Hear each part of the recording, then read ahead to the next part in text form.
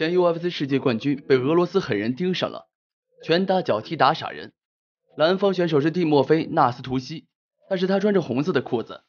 红方选手是前世界冠军艾迪·阿尔瓦雷兹，穿着黑色的裤子。在比赛开始之前的对视，现场早已充满了火药味。第一回合的比赛开始了，开场两个人打得比较谨慎。年纪已经现在这样了，但是他的身体肌肉的维度还是保持着当时年轻的时候的状态。还记得呃，我们俩之前的主播的时候，当时刚刚宣布他和呃这大力士两个人的签约的。红方选手地下之王的艾迪·阿尔瓦瑞兹是世界上最优秀的拳手。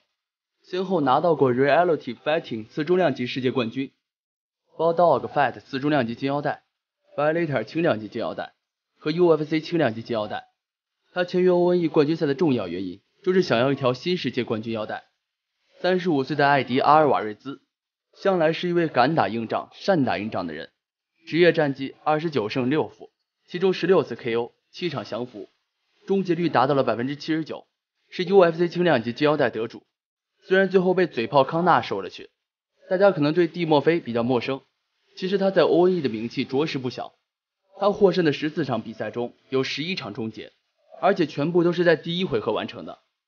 他是该赛事最快 KO 记录的保持者，只用六秒就 KO 了对手的猛人。蒂莫菲也曾飞膝 KO 过弗拉扬，击败安藤晃司，是一位站立打击高手。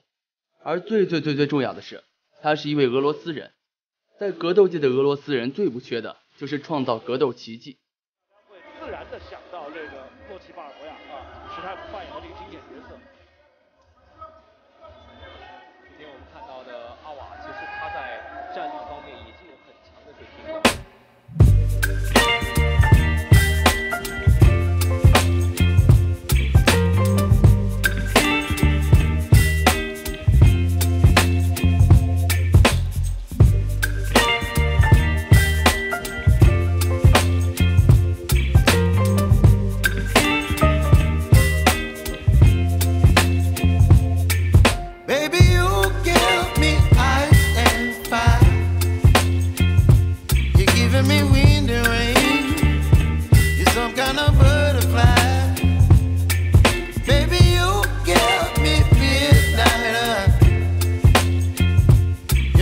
my appetite.